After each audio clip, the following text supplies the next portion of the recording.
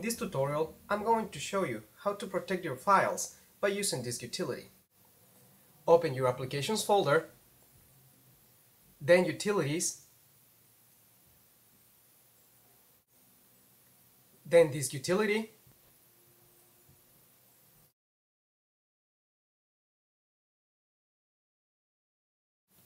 then File, New, New blank disk image.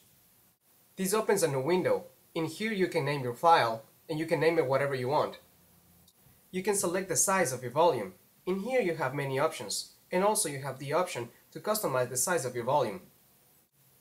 Select encryption to 128 or 256 bits. 128 is recommended. When you are done, just click Create. This will bring the password window. Type your password. Use letters and numbers. But be careful, because the password is case sensitive. Below, there's a bar that shows you the strength of your password. And deselect the Remember Password option. This will prevent the password to be stored in the computer. When you are done, just hit OK. Now, the disk is mounted on the desktop. Double-click on it to open it. Type your password and make sure to leave the Show Password and Remember Password boxes unchecked. Like that, only you have access to those files. Click OK and the disk image will appear right below. Double click on it and you'll see a window.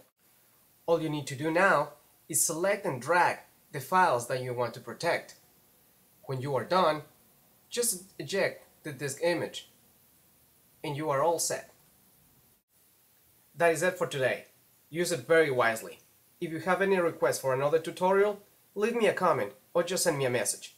And always remember, comment, rate, subscribe. This video is being brought to you by